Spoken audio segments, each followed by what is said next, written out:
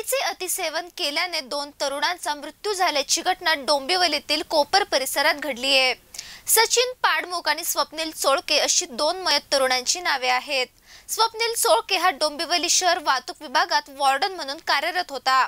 मात्र दोन महिन्यापासून प्रकृती अस्वस्थामुळे सुट्टीवर होता. विष्णुनगर पोलिसांनी या प्रकरणी ताडी विक्रेता रवी भटने विरोधात गुन्हा दाखल करून याचा शोध सुरू केलाय.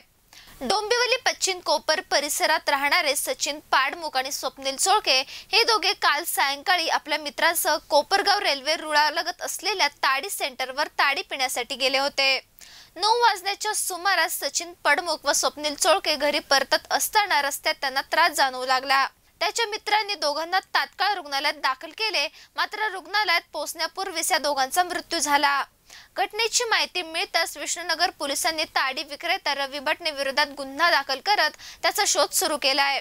दरम्यान या दोघांचा मृत्यू ताडीचे अतिसेवन केल्याने झाली असल्याची माहिती डॉक्टरांनी दिल्याचे विष्णुनगर पोलीस ठाण्याचे वरिष्ठ पोलीस निरीक्षक भालेराव यांनी सांगितले. मात्र मयत सचिनच्या कुटुंबियांनी संबंधित ताडी विक्रेत्यावर कठोर कारवाई करण्याची मागणी केली आहे. ज्यावेळेस घटना घडली त्यावेळेस ताडी पिण्यासाठी चार जण होते. हां चारपैकी दोन दोन जण जणांना अति ताडी पिण्यामुळं अति ओव्हरडोस झाल्यामुळं त्याला हॉस्पिटलमध्ये नेलं.